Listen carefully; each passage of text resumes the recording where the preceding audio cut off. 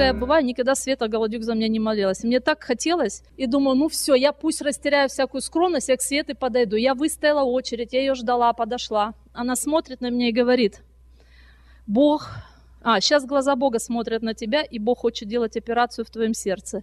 Я такая довольная, думаю, слава Богу, что-то хорошее Бог приготовил. И она э, что-то говорила, говорила, в общем, я ничего не ощущаю, ничего вообще не происходит. Я думаю, вот я тупая какая-то. Думаю, что я шла? Бог, мне все подходят и говорят, что ты к Свете идешь? Бог вот через ослапа говорит. Я говорю, почему тут осел? Я хочу к Свете. И я когда лежу и чувствую, что я попала, что она говорит, но ничего не происходит. Я четко понимаю, что ничего не происходит. И вдруг я говорю, Господь, ну хоть что-то пусть произойдет. И я вижу руку четко, прям перед носом своим. Такая рука и жемчужина на ней большая. Я говорю, вау, это что такое? И вот притча есть про жемчужину, что я говорю, а, а это жемчужина это кто? Бог говорит, ну ты, конечно. Уже одна радость пришла на сердце. И Света мне говорит, Бог будет делать сегодня операцию с тобой. Я же жду, лежу эту операцию, она не происходит. Ну, я встала, пошла. И потом вот как, как на зло какое-то, вот все подходят и говорят, через ослабу, говорит, подходите к любому служителю. Но я понимаю, но потом я думаю, слушай, ну ты же должна быть послушной девочкой. И я смирилась, говорю, Господь, прости меня, что я вот так иду, кому-то вот специально, кому-то хочу. И я говорю, Господь, работай через кого хочешь. Хоть под Сашу встану, хоть под Мишу, хоть под, под Гришу, хоть, хоть под кого. Глаза вообще закрою, пойду, куда Бог поведет. И так получилось, что моя очередь подошла к другой Свете. Там еще одна Света есть. И я ее хорошо голос знаю, потому что когда мы были на энкаунтере, она была лидер группы нашей. И я очень четко знаю ее голос. Когда я к ней подошла, она мне стала говорить, и у нее совершенно другой голос. И я сразу поняла, что это говорит Бог. И знаете, она мне что говорит? Майя, когда мы молились за исцеление, мне Бог показал твое сердце, и она плачет. Я думаю, неужели так все плохо? Что, что она плачет? И она говорит, у тебя очень тендер сердце, очень мягкое, настолько в нем много любви, но оно говорит в этом, в раздражительности и в нервозности какой-то. А я как раз вспомнила, что я Светы подошла и говорю, Света, ты знаешь, ну все нормально в жизни. Говорю, ну вот я что-то нервничаю и раздражаюсь часто. Она говорит, а что ты говорю, нервничаешь? Я говорю, не знаю, что нервничаю. А говорит, ну не нервничай, говорит, ты, ты просто Богу не доверяешь. Я говорю, ну стараюсь доверять. И вот эта Света вторая говорит, сейчас Бог будет делать операцию. Слушайте, ну я уже поняла, думаю, сговориться они точно не могли, у них времени было. И я такая думаю, ну слава Богу. И, в общем, Бог вот это обрезал вот эту нервозность и раздражительность. Это происходило в духе. Накануне, в общем, все началось хорошо после того, как я пришла в этот центр. И через проповеди Андрея Бог сильно стал менять все. Ответил, я уже была в том уровне, прошла те проблемы, что ни один окружающий пастор не мог ответить на мои вопросы, вообще ни на какие. И я думала, или я такая тупая, или все вокруг такие тупые. Но когда я стала слушать проповедь Андрея, еще будучи не здесь, то Бог вообще все полностью ввел меня в, в тот уровень, когда я получила вопросы на все э, ответы, а, вернее, ответы на все вопросы, и мне стало легче жить, я начала новую жизнь, все так классно. И тут кто-то мне говорит, что ты себе там возомнила, служить там что-то, сейчас прям, ага, сейчас начнешь ты тут. Твои грехи они раздел... ну как, на твои грехи ты много нагрешила, у тебя нет уже жертвы искупительной крови Иисуса Христа. И я глюканулась. Я думаю, ничего себе. И правда, я много нагрешила.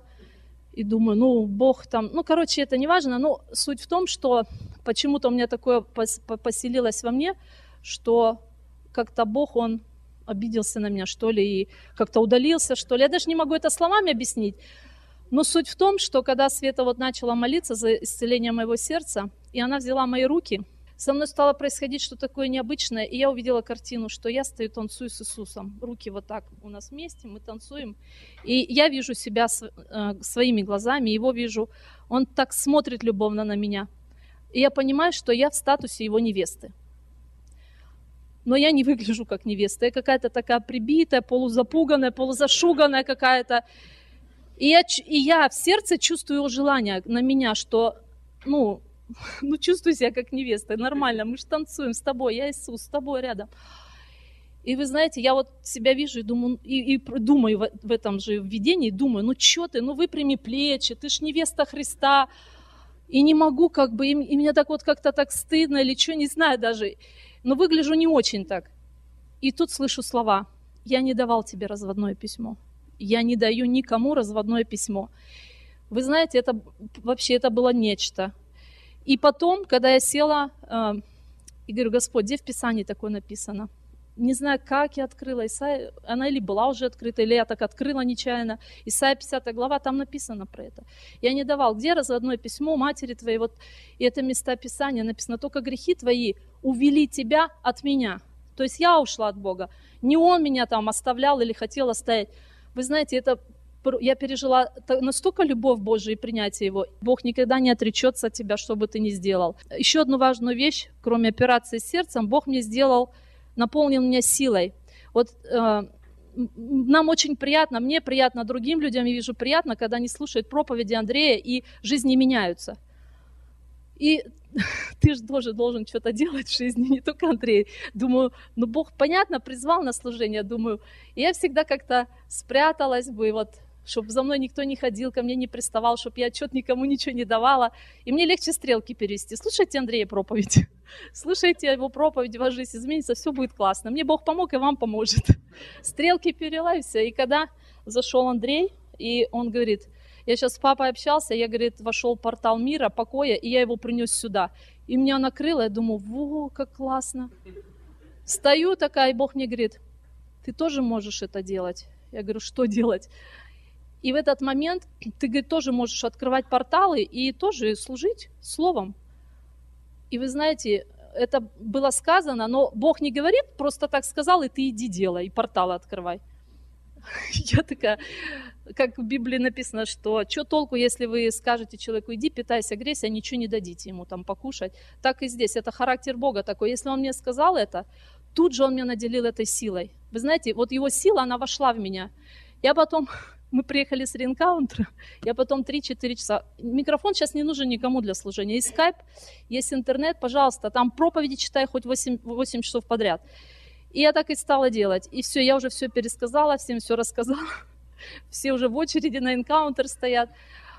И я поняла одну вещь, что у меня всю жизнь мою, 15 лет, что я в Господе, не было вот этой силы, который вот Андрей всегда, он говорит, я думаю, ну почему так жизни людей меняется?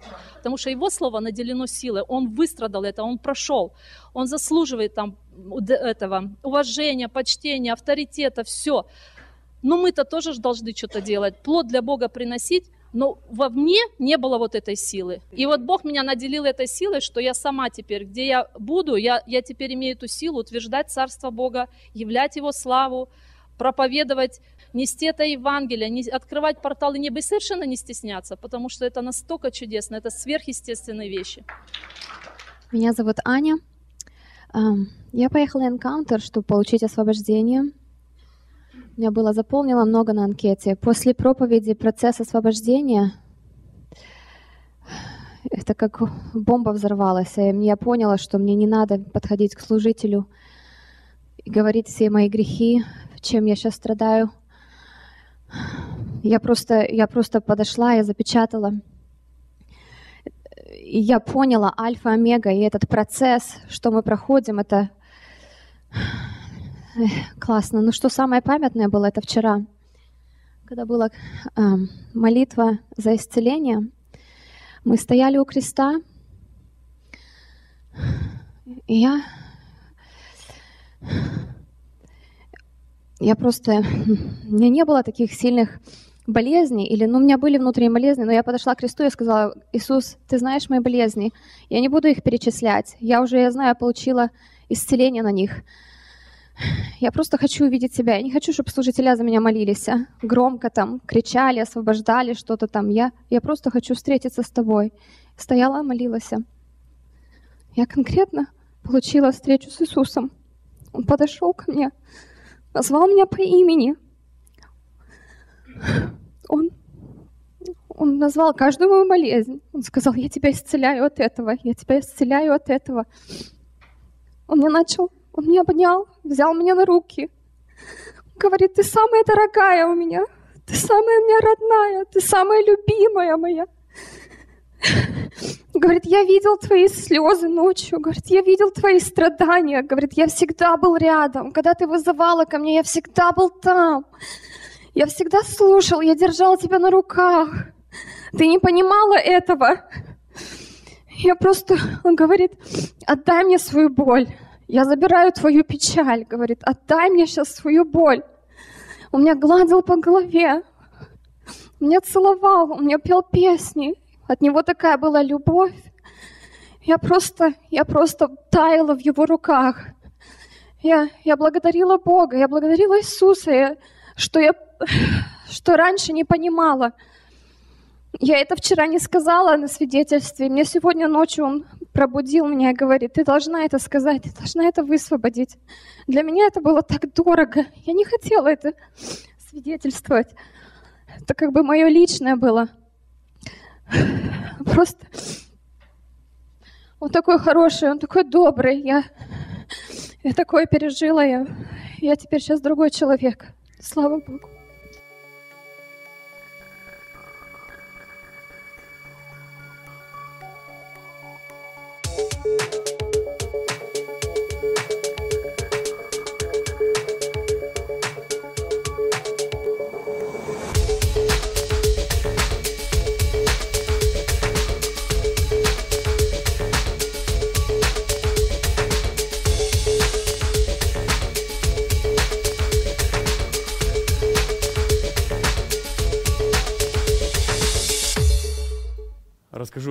Шутку, которую я видел.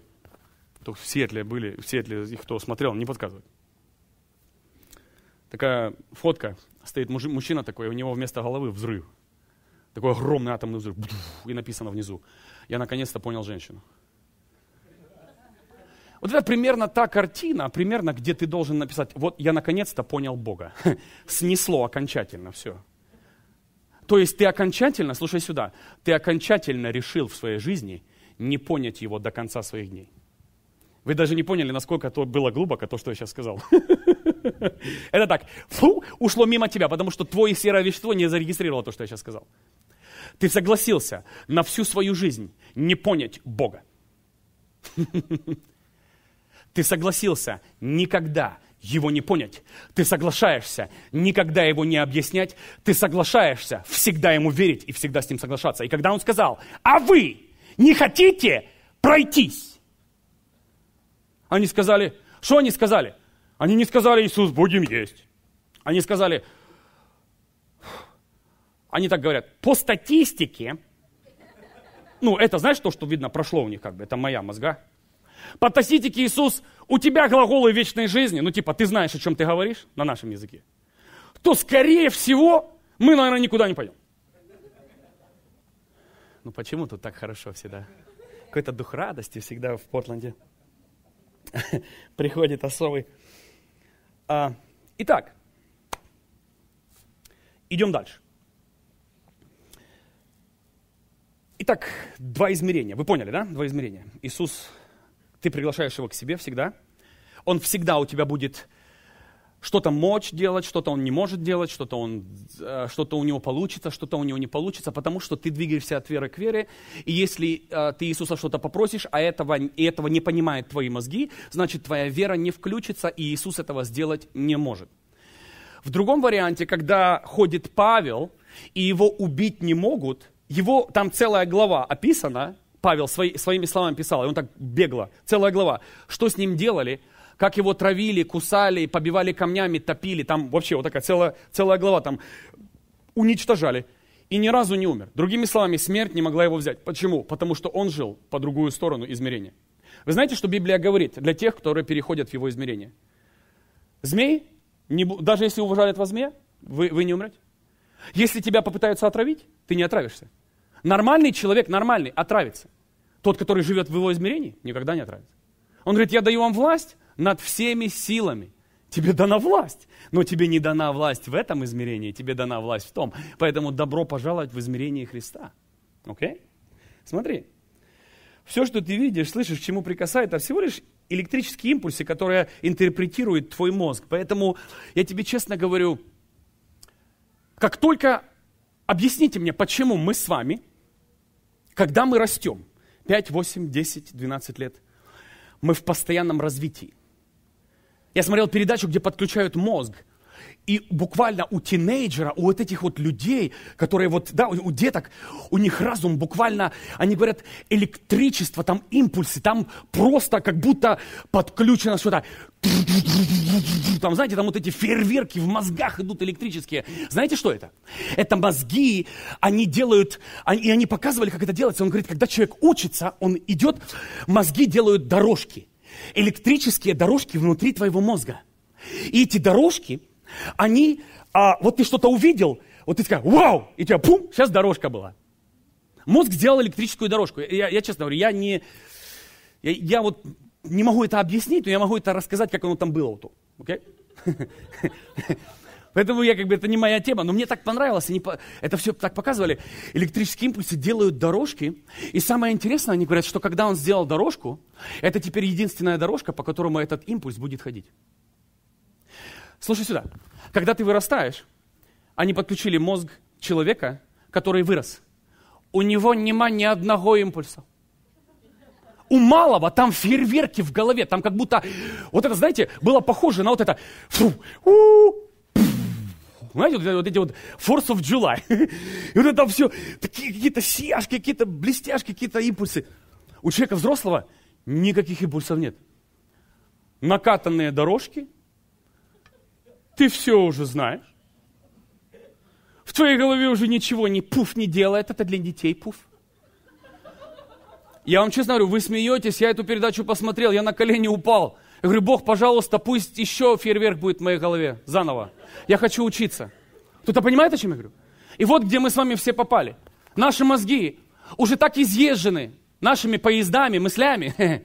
В общем, когда вот эти импульсы, и когда показали мозг взрослого человека, и, и они, эти, эти ученые, они говорят, этот человек, они говорят практически brain dead. Знаете, да, что такое brain dead? Brain dead – это мертвые мозги. Это мозги, которые не развиваются. Другими словами, они говорят, как только он, этот человек начинает а, брать какие-то новые вещи, куда-то идти, опять начинаются импульсы, опять начинаются электрические выстрелы, опять начинаются вот эти дорожки в мозгу э, рисоваться, и ты, ты становишься умнее и умнее, и предела они говорят, нет, сколько ты будешь учиться, сколько твой разум будет прокладывать дорогу. Дорогие, можете представить, что у нас насчет Иисуса уже все съездило. Все уже съездило, вернулось по 10 раз, и мы с вами стоим. Знаете, что мы с вами стоим? Мы с вами ждем, пока этот поезд там проедется опять. И ты скажешь, о, сегодня был Иисус, аллилуйя. О, это Бог. Мурашки, мурашки, мурашки. О, сегодня было такое присутствие. О, присутствие было. У меня мурашки не только на руках были, у меня мурашки еще на шее были. Мурашка – это твое прикосновение Бога тебе. Окей? Дорогие мои, это не Бог. Это твои мозги прокатнулись там, и это ты везде. И сейчас ты везде ходишь. Что ты ищешь? Мурашек ищешь. Все, в любой церкви. Пришел, мурашек нет, здесь нет Бога. И здесь Бог есть. У тебя просто мозги больше не работают. Ты больше ничего не воспринимаешь. Ты ждешь своих импульсов, которые ты знал, и ты как радар.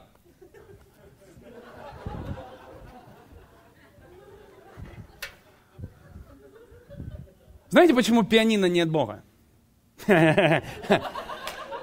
Потому что импульс туда никогда не ходил. Знаете, почему а, так славить от Господа, а вот так славить? Это не от Господа.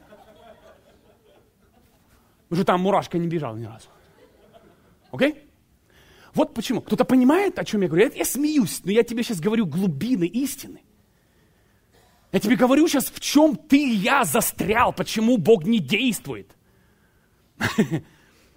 Твой мозг мертв, ты больше не пускаешь. Ты все понял, все принял. И теперь ты ходишь и по своей одной извилине, которую ты где-то в 60-м году тебя зацепила. О!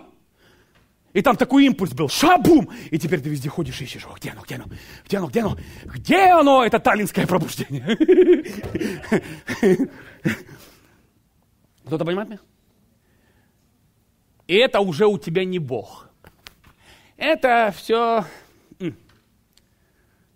Я ищу мою мурашку. Почему они поют псалмы, там, и веры не стало, и все пропало, и я только листья принес, и там, знаете, э, ой, снопы, снопы, и там, Бог мой, чем мы то, какую только мы дрянь не пели, потому что по ней бегало что-то когда-то. И теперь мы пытаемся взять этот сборничек и прокатнуться еще раз по линии, по истории. Когда-то, 35 лет назад, Бог вот здесь, на этом псалме, так пробежался. Бог, я жду тебя. Бог говорит, перестань, иди сюда. Моисей не говорил, Бог, приди сюда. Бог Моисею сказал, нет, ты взойди сюда. Понимаете, да? Он сказал, Моисей сюда. Моисей, хорошо, я пошел. Другими словами, Моисей согласился пойти в его измерение, а не пригласить Бога сюда. Смотри. Вот почему Бог не может много сделать в твоем мире, потому что ты пытаешься вместить сверхъестественного Бога в своем естественном мире, мозгу. Тебе также всегда будет нужен следующий уровень веры, чтобы Богу двигаться дальше в твоем мире. Как только что-то новое сейчас произойдет вот здесь, я даю гарантию всем людям, которые знают Бога, у тебя будет глюк в этот же вечер.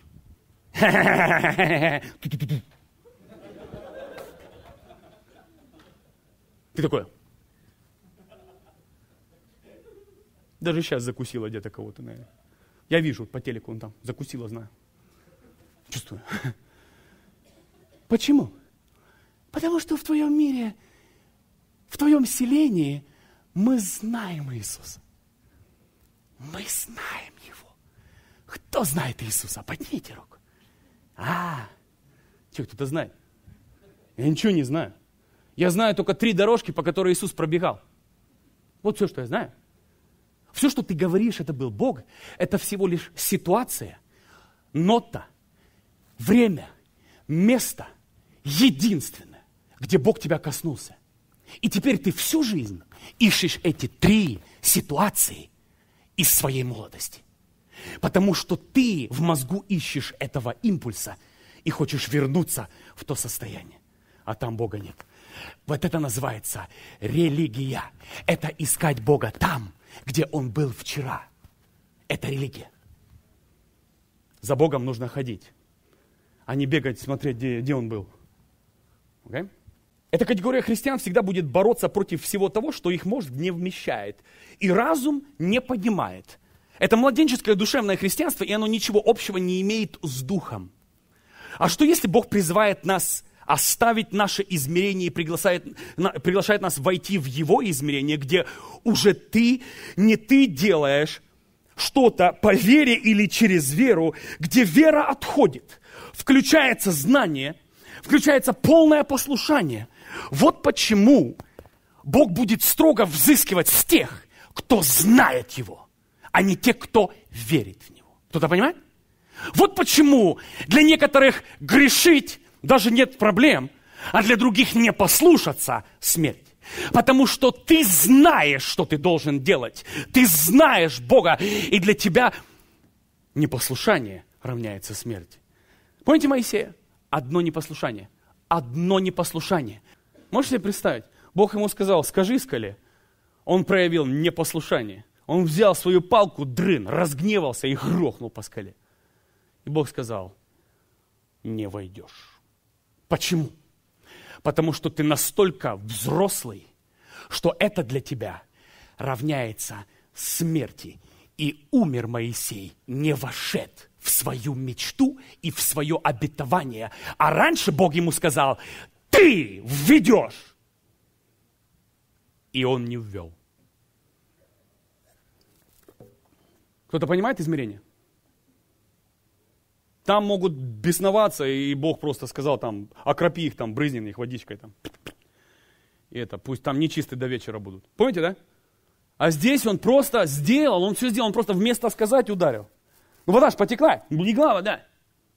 Но Бог сказал, а тебе кранты. Потому что для тебя я был настолько реален, потому что для них я, слушайте сюда, Потому что Моисей, знаете почему? Давайте уже расскажу историю.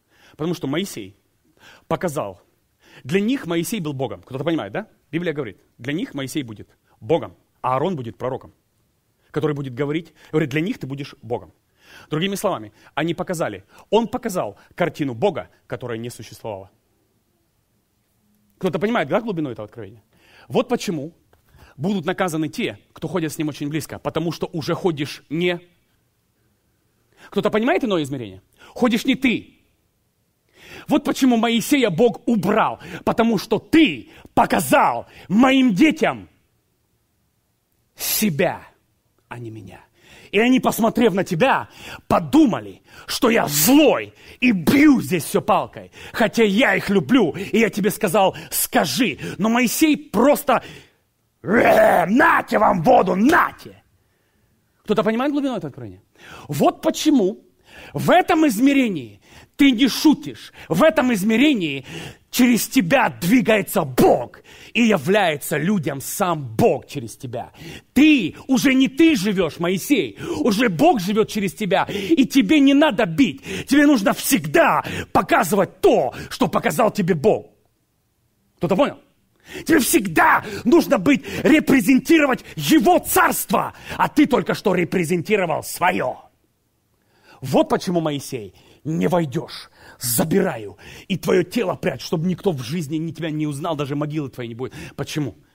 Потому что ты показал то, кем я не являюсь. Вот почему опасно быть в слиянии с Ним в том измерении. Опасно делать свои дела. Там ты показываешь Его. Там ты являешь Его. Там ты в стопроцентовом послушании. И даже 99% послушания для тебя будет равняться смерти. 99. Кто-то понимает серьезное измерение, да? Это так, на всякий случай, если был вопрос. Okay? Смотри. Ты уже не делаешь ничего по вере, через веру. О, я верю, я верю. Иисус ученикам сказал – Скажите мне, сколько нужно было веры ученикам, чтобы преломить тот хлеб, который он сказал преломить и раздать? Кто-то может мне сказать?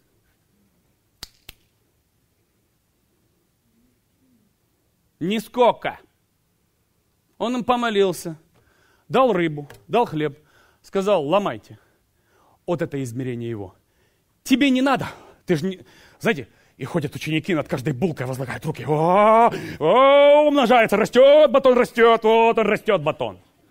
Вот лепешка такая огромная. Ломаем, ломаем, ребята. Да. Они. Ломать, Иисус? Ломай. Всем давай? Всем давай. И потом в конце 12 коробок, ящиков осталось. Кто-то понимает, что такое иное измерение, когда ты слушаешься? Ты можешь на батон руки возлагать, это твое дело. А можно просто слушаться. Вот разница. Я предупреждал, тема для взрослых. Смотри. И ты уже не действуешь, Иисус действует в полную силу Небесного Царства через тебя, там, где ты уже не живешь, а Он живет через тебя. Вспомните, когда Иисус заговорил с учениками о другом измерении. Я уже сказал, просто напомню. Когда Он сказал, вот, представляете, вот сидят ученики все, да? Все принимают Христа. Он им говорит о новом мире, он им говорит об изгнании бесов.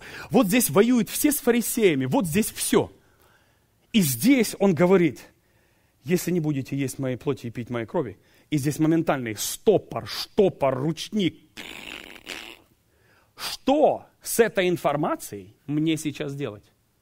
Что? Куда мне это деть, Иисус? До этого я тебя любил. Я так, я так поклонялся тебе. Вот на тебе вот эти золотые зубы. Объясни. Я тебе еще раз скажу. Не знаю. А ты можешь сделать, чтобы они были? Не могу. Почему? Да потому что я не управляю Богом, а Бог управляет мной. Если ты что-то можешь сделать, ты ворожей и колдун. Я еще раз повторяю, если ты можешь что-то сделать сейчас, не спрашивая Бога, ты не в ином измерении, ты в заблуждении ада. Потому что Бог, Иисус говорит, я вижу Отца творящего и творю. И когда Иисусу даже говорили что-то сделать, Он говорил, а-а, Он пришел в Вифезду, помните, да? Там было масса людей лежали, Он подошел к одному. Иисус! Ну что у тебя сердце не болит за всех вот их, тут массы их лежат. Что ты одного исцелил? Ты бы мог как исцелить всех, и все как поклонились бы тебе, аллилуйя, аминь. Ну, ну, ну давай, Иисус, давай. И Иисус пошел, знаете, как, как мы с вами представляем. Я представляю себя в Ефесте. Аллилуйя, аллилуйя, аллилуйя, аллилуйя. О, Господи, дай силы на всех руки возложить. Иисус делал только то, что видел сотворящим, и ни разу не выходил из его воли. Он не всех исцелял, он не всех освобождал, и далеко не все сделал. Только не по одной причине, потому что, а у тебя ничего не получается. Гляньте, к нам сам Шаповалов приезжал, и этот человек не исцелился.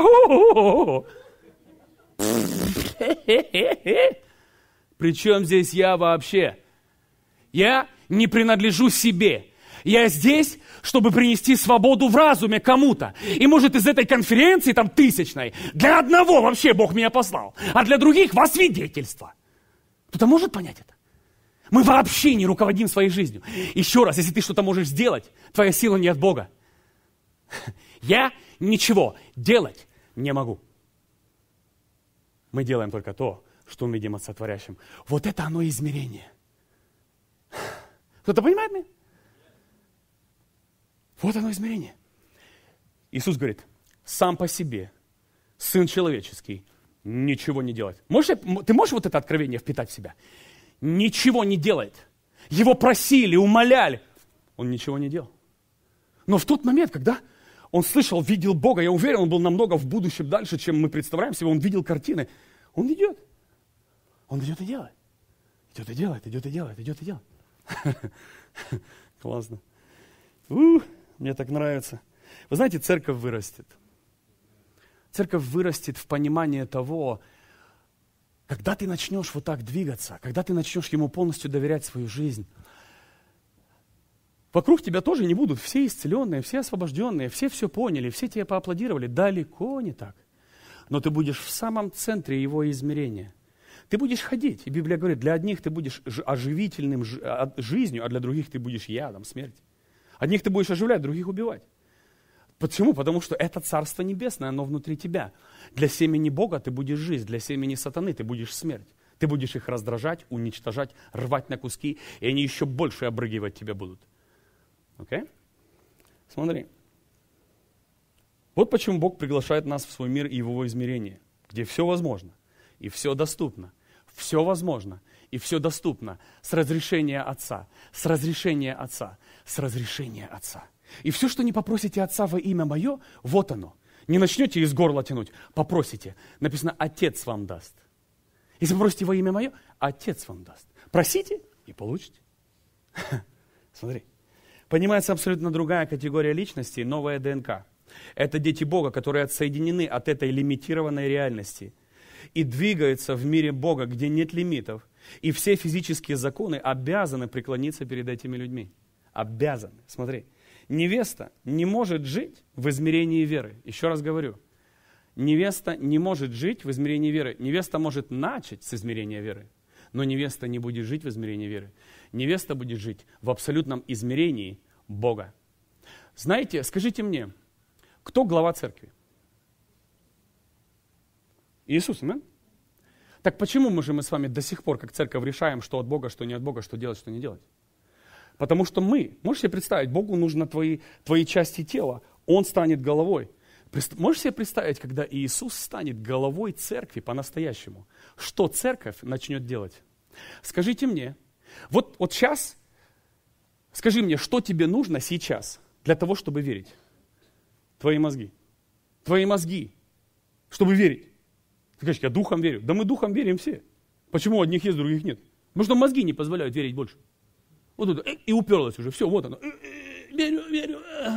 Не, не, не верю. Сори, попробуем завтра еще разок. Мозги. Верю, не верю. Смотри.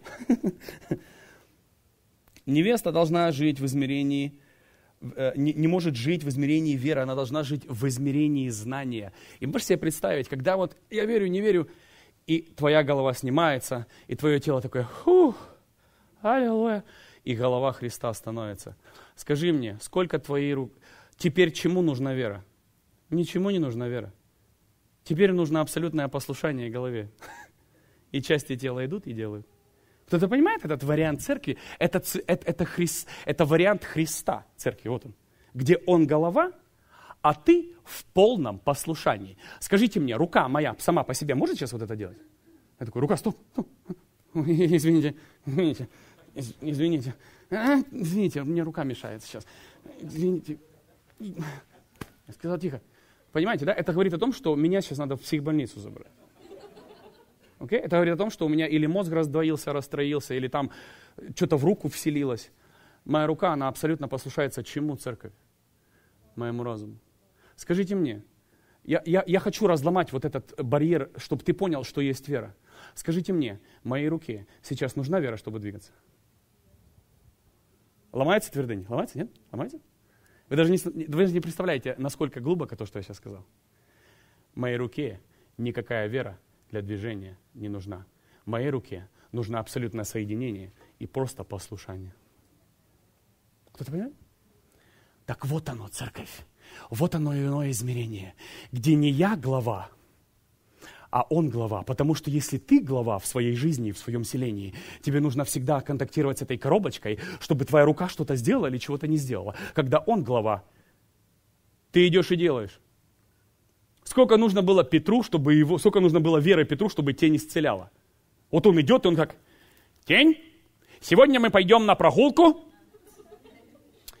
я приказываю тени моей активизироваться во имя Иисуса Христа и исцелять все, к чему она коснется. Поняла тень? Тень.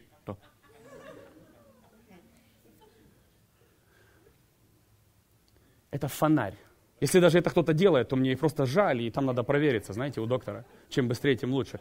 Знаете, это говорит о чем? Это говорит о том, что его глава сейчас Христос, и это тень Христа. Я еще раз вам говорю, дорогие, не надо вера, мне не надо вера. Я верю, я верю, что моя рука сейчас возьмет стакан. Я верю, я верю, я верю, я верю. Вот она берет. Но не надо вера. Рука слушается мои мозги. Вы видели, вы когда-нибудь лежали, и твоя рука где-то там в клубе позанимался, и рука такая. Я такой лежу, думаю, Господь, я хочу заснуть. У меня там, знаете, было куда, да, мышца, знаете, дергается, дергается мышца. И ты такой, слушай, ну что она не слушается меня? А прикиньте, как Христу. Дошло? Христос. Представьте, он же глава. Нигде не написано, что Иисус нога. Иисус нос, ноздри. Иисус глаза. Э, или там, знаете, Иисус глава, он мозг, он управительная часть. И представляете, лежит Иисус. И тело, тело пошло на миссионерскую поездку. Кто-то понимает, да? Говорит, ну когда?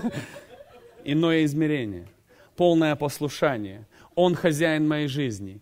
Я не делаю гуманитарных поездок, и я ничего не делаю, если не вижу его творящим. А как узнать, если он творит? Библия говорит, по плодам их узнаете их. По плодам узнаете их. Не по болтовне и не по длине их э, пиджака, и не по длине их резюме. И, и не по рукоположениям, кто их там рукоположил. Видел? Он руки. К одному захожу. О, Господи. Я честно говорю, захожу. Я так не понял, думаю, что это такое? Он, он не пропустил ни одного рукоположения, все сфотали. Я такой прохожу, стена. И везде, знаете, и везде. Знаете, я такой смотрю, фотка, фотка, фотка, фотка, фотка, фотка, фотка, фотка, фотка. Я такой думаю, Иисус, освободи его. Сколько там живет их. И он гордится. Видел? Лучше бы не видел. Мне тебя жаль. Смотри, невеста не может жить в измерении веры. Ее отношения должны перейти в полное слияние со своим женихом, где сам Иисус делает то, что Он желает через нас. Именно в этом мире жил Иисус. Именно в этом мире должна жить Его невеста. И Иисус не только, знаете, исцелял, Он ходил по воде, Он ходил через стены, Он преображался. В, в один прекрасный момент Библия даже говорит, что Его ученики по дороге в Имаус не могли узнать, потому что Иисус явился в иной форме. Он был другой мужик. Другой вообще. Они вообще его не узнали. Только когда он преломил хлеб, они, а, это движение мы где-то видели. И тут хоп, и исчез мужик. Это Иисус был. Помните, да? Ага, ага. Смотри, Иисус это все делал, он, он ходил через стены, транспортировался, преображался на глазах учеников и массы других вещей. Сам Бог, Бог будет вести тебя и учить тебя, Он, он будет показывать нам через наше сознание ненормальные для нашего мозга и сознания картины, с которыми мы должны согласиться, привести их в действие. Вот Бог показывает тебе вещь, ты должен согласиться с ней. Ты должен согласиться с ней. В один прекрасный момент и Бог Иисусу говорит – плюнь ему в лицо. Ну, представляете, да? Исцеление. Ну, Иисус, ну. Ну, тут же нормальные мужчины. Пиджачки, галстуки, камеры. Вот стоит слепой. И что, вот это сейчас... Да, вот так и сделай. Знаешь, что он так сделал? Он видел отца плюющим. Чего улыбаетесь? Я гарантию даю. Он говорит, я не вижу, не делаю ничего, того, чего отец не творит. Другими словами, он видит, плюет отец, плюет, плюем. Другими словами, он вообще харкнул, грязь сделал и глаз, лицо замазал грязью. В вложил, говорит, иди умойся. Я бы на месте слепого сказал, естественно. Что мне еще делать? Я сейчас пойду морду мыть. Что, так ходить, что ли? Ну, представляете, да, вот, ну, Бог говорит, Иисусу надо делать. Насколько это непонятно или страшно, или как бы это ни было. Личное наблюдение. Я сейчас докажу. Я докажу всем людям, религиозным людям, людям, которые не хотят жить в том измерении, людям, которые не верят в чудеса. Я сейчас всем вам докажу, что вы верите в чудеса, и для вас это естественно. Хотите объяснить как? Хотите вам объяснить? Доказываю. Мое личное наблюдение и мои личные эксперименты какому бы человеку, религиозному, который ненавидит зубы, там вообще это сатанизмом считает, я задавал несколько вопросов. Это мой личный опрос за, за, за вот эти годы. Я был там, я был там, я был там, и просто задавал вопросы. Они даже не замечали, что я тесты делал. Я задал вопрос. Тебе когда-нибудь снилось, что ты летаешь? Да. Тебе когда-нибудь снилось, что ты а, исчезаешь, появляешься, ты творишь какие-то чудеса, изгоняешь бесов, исцеляешь любого рода сверхъестественные вещи тебе снилось. Да. Ты чувствовал, что это от дьявола? Нет. Стоп, стоп, стоп, стоп, стоп, стоп. Вы все со мной? Все со мной? Это мой эксперимент. Это, это, знаете, я иногда... Эта тема, кстати, готовилась несколько лет, чтобы вам сейчас рассказать, потому что эксперименты не закончены были. Okay? Все из моего опыта и вопросов, все, кто были со мной честные, люди взрослые, которые не верили вообще, зубы, это, это вообще, это, это шаманизм, это все. Я говорю, вы делали? Я говорю, почему во сне ты не сказал, так, стоп, стоп, стоп, стоп, приземлить меня, быстро приземлить меня, быстро приземлить меня? Это не на Бога, это не на Бога. Вот то, то, то. Какие бы рода ты чудеса не делал, все вы во сне делали какие-то сверхъестественные вещи. Все мы во сне делали нереальные вещи для нашего разума. И для всех из нас это все было нормально, пока мы не проснулись. Кто-то понимает? Знаете, что происходило в этот момент? Ты веришь в чудеса. Твой дух в них уже давным-давно живет. Твое серое вещество было отключено на время твоего сна. Оно отдыхает. Кто-то понимает, да, серое вещество нужно отдохнуть. И в этот момент твоей жизнью, твоим духом руководило подсознание, которое некому сказать. Представляете, подсознание – это как пятилетний ребенок, который творит, что хочет. А серое вещество – это взрослый родитель, который говорит, не делал. Нет Бога. О, окей. Но вы знаете, но подсознание, оно, оно абсолютно ничему не учится. Оно хочет все делать, всегда делать, оно хочет везде лезть, оно хочет везде летать. И чем больше летать, Васти, тем лучше. А я знаю, что ты хочешь летать. Ну, что хочешь там, летать, приземляться, там, прыгать, суперменом быть. Что угодно. Там во сне, кто, мне, как рассказывали, я думаю, бог мой, упаси. Подсознание – это как пятилетний ребенок, который не контролируется. Ты его пытаешься... Твое сознание – это серое вещество, которое как родитель, который говорит ему, от Бога не, от Бога не иди, не пой, не прикасайся, это от дьявола. И, и твоему подсознанию придется, знаете, ему приходится сидеть вот в этой тюрьме. Но как только ты засыпаешь, подсознание смотрит, батя дрыхнет. Кто-то понимает, о чем я говорю? Это у нас у всех. И твое подсознание на подвиги. Я вам гарантирую всех. Твое подсознание, твой дух через твое детское подсознание летал, делал что угодно, спасал людей, ломал автоматы, уклонялся от пули, как Нио, что угодно. Твой, твое подсознание – это как шаловной ребенок, у которого сейчас нету родителя, который орет нельзя. Во сне ты делаешь все. Но как только ты просыпаешься, просыпается пахан. И сразу говорит, что нельзя делать. Нельзя, нельзя, не то, не то. И ты сразу приходишь в эту реальность. И опять закрывается подсознание в, в шкаф до того, как опять ты, пока пахан заснет. Кто-то понимает?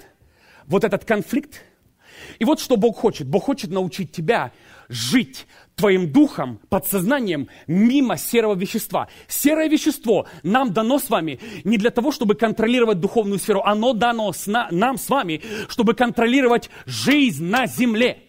Жить.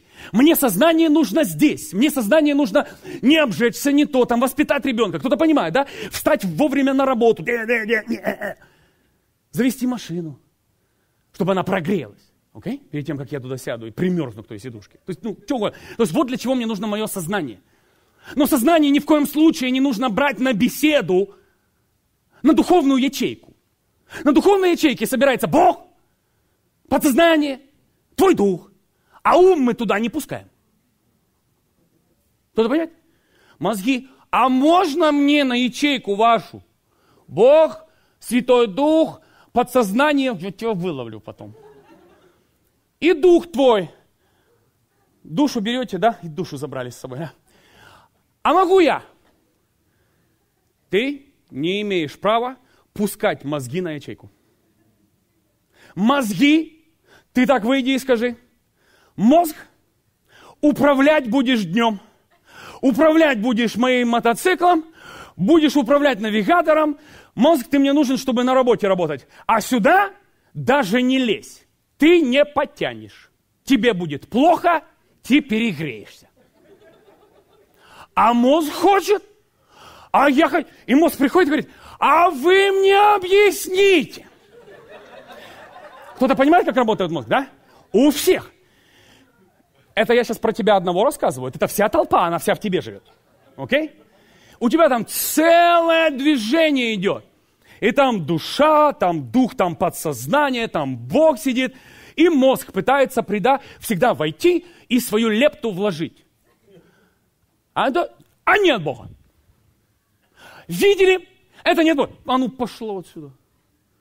А ну иди отсюда, извилина. Не мешай советоваться вечным личностям. Я тебе еще раз говорю, я иронизирую церковь, я, специ... я же говорю, я специально все это делаю, чтобы в твоем мозгу навести порядок сейчас. Ты должен сказать, нет, эти вещи. Мозг решает вот. Мозг, решает, мозг сейчас мне нужен, чтобы сказать, температура в зале нормальная. Или, ребята, жарковато, можете включить кондиционер? Кто-то понимает, для чего мозги мне нужны? Но ни в коем случае, а это цена от Бога. Твой дух должен сказать о тех, кто спрашивает, а ну лежать. Вот когда температура была, все нормально, окей? Но в этом случае, щечь. Когда меня Бог научил вот это все, вот этот процесс, это хи-хи-ха-ха, ну знаете, что это реальность? Когда ты скажешь, я не пускаю мой мозг, мой мозг Богом дан для определенной функции.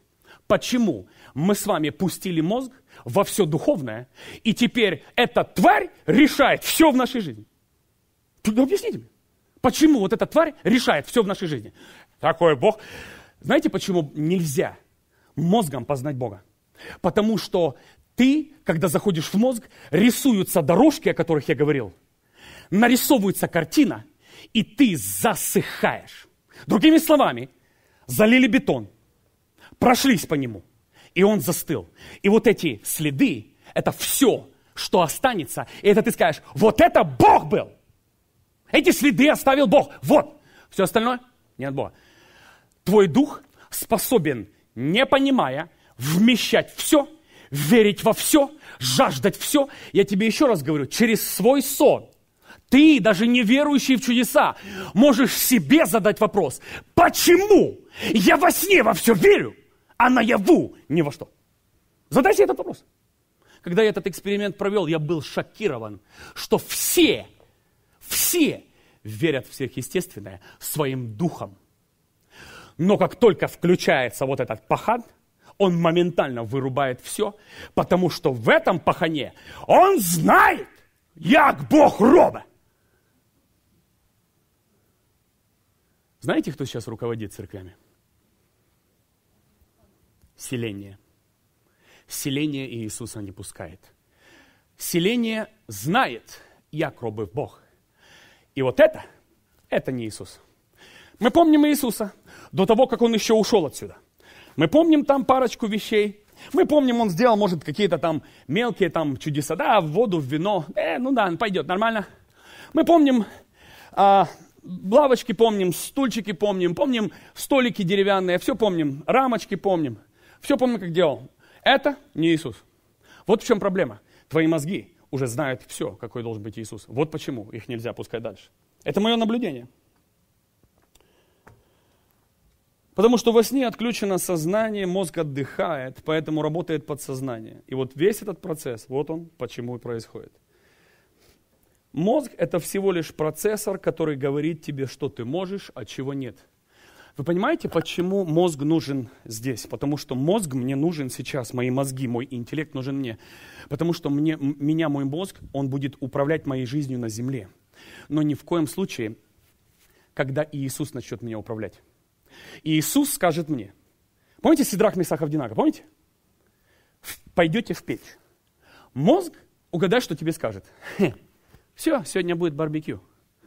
Кто понимает, да? Сегодня будет жареное, сегодня будет пахнуть жареньким. И Иисус говорит, не переживай, ничего, огонь вас не коснется. Почему? Потому что эти личности ходили в другом измерении. Огонь не касается, львы не едят, вода не берет, пули, стрелы, что угодно, львы не рвут, ничего, все, ничего не работает. Яд не работает, только по одной причине, потому что это вещество давным-давно перестало двигаться в духовном и отключено насчет духовных вещей. Это вещество нужно для управления этой землей. Смотри. Итак,